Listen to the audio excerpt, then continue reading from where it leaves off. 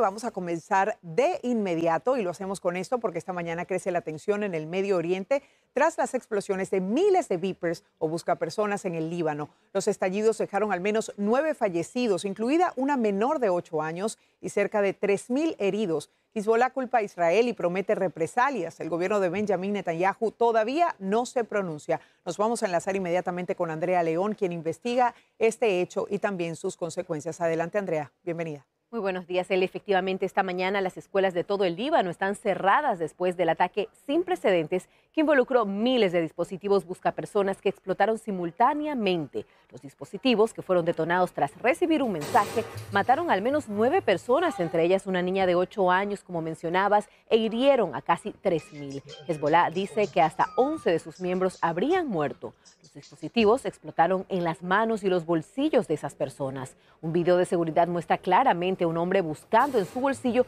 justo antes de que este explote. Israel no ha confirmado que sea responsable, pero fuentes cercanas dicen que ellos estaban trabajando para perfeccionar lo que llaman un ataque de interdicción en la cadena de suministro. Los combatientes de Hezbollah habrían dejado de usar teléfonos celulares ya en febrero por preocupaciones de seguridad, al pensar que los israelíes probablemente estaban usando esos teléfonos celulares para rastrear su paradero. Optaron entonces por estos busca personas. Escuchemos lo que dicen a esta hora analistas e investigadores.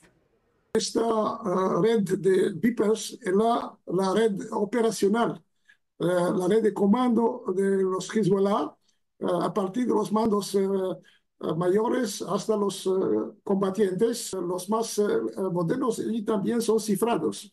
Entonces, esto significa que quien hizo la operación pudo entrar en esta red el Consejo de Ministros de Líbano calificó el ataque como una agresión criminal israelí a un país soberano y Hezbollah advierte que se viene una respuesta, mientras una compañía de Taiwán dice que los dispositivos fueron fabricados en Hungría y el New York Times reportó que cada uno contenía de una a dos onzas de material explosivo. Escuchemos ahora lo que dicen las autoridades estadounidenses.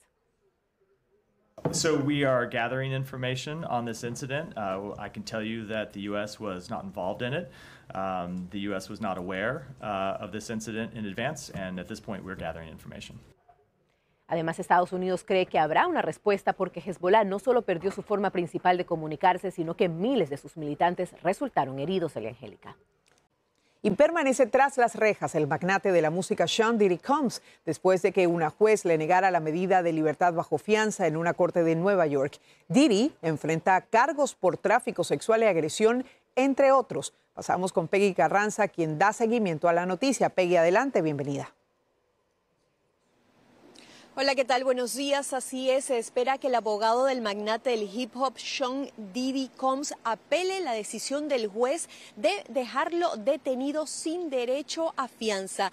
Esto luego de que el artista fuera acusado de extorsión, tráfico sexual, crimen organizado y de transporte de personas con fines de prostitución. Y es que según la fiscalía, el artista supuestamente obligó a mujeres y a trabajadores sexuales masculinos a realizar actos sexuales por días con el uso de drogas. Supuestamente también grabó estos actos y aparentemente usaba estas grabaciones para garantizar su obediencia. De hecho, la acusación también menciona indirectamente estas imágenes publicadas por CNN donde aparentemente se ve a Combs pateando y golpeando a su exnovia, la cantante Cassie Ventura. Él en en corte se declaró no culpable de estos cargos frente a algunos de sus seguidores y algunos de sus hijos. De hecho, veamos lo que dijo su abogado.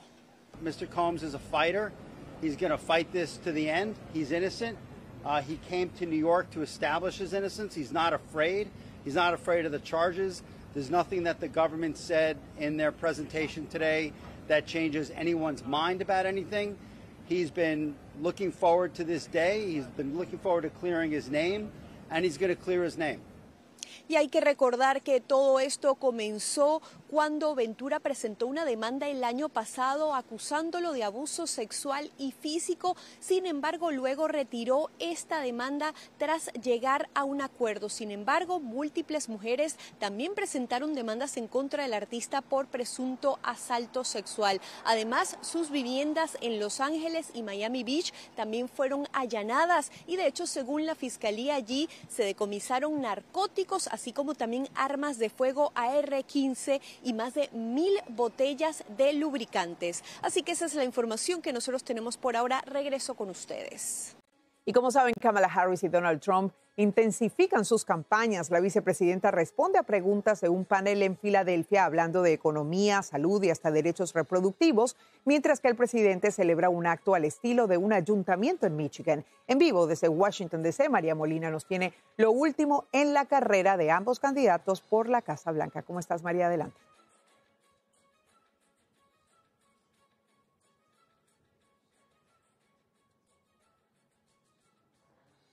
Adelante, te escuchamos. Muy buenos días. Los dos candidatos regresaron a la campaña. Me refiero a la vicepresidenta Kamala Harris, quien nuevamente estuvo ayer en Filadelfia, un estado en donde ha estado varias veces en los últimos días. Y por su parte también el expresidente Donald Trump estuvo en su primer acto de campaña tras ese intento, ese aparente intento de atentado en su contra en la Florida. El expresidente estuvo en Michigan. Miremos. El expresidente Donald Trump realizó su primera aparición pública tras el aparente intento de atentado en su contra el pasado fin de semana en su campo de golf en la Florida. Durante un acto de campaña en Michigan, desvió las preguntas sobre el costo de los alimentos, centrándose en cambio en la energía y atacando a los vehículos eléctricos.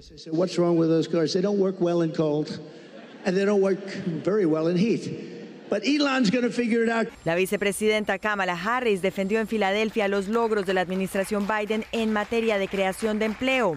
Durante una conversación pública con la Asociación Nacional de Periodistas Afroamericanos, los moderadores presionaron a Harris sobre si los estadounidenses están mejor que hace cuatro años. We came in during the worst public health epidemic in centuries. We came in after the worst attack on our democracy since the Civil War. And a lot of it due in large part to the mismanagement by the former president.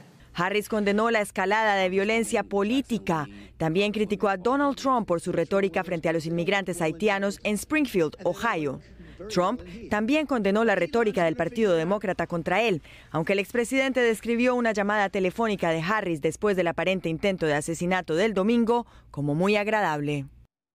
Hoy los candidatos regresan a su agenda. La vicepresidenta Harris estará aquí en Washington en la conferencia de liderazgo del Caucus Hispano del Congreso, cuyo lema es además Excelencia Latina en Acción. Por su parte, el expresidente Donald Trump estará en Uniondale, Nueva York, en un acto de campaña. Esto será esta noche a las 7 de la noche.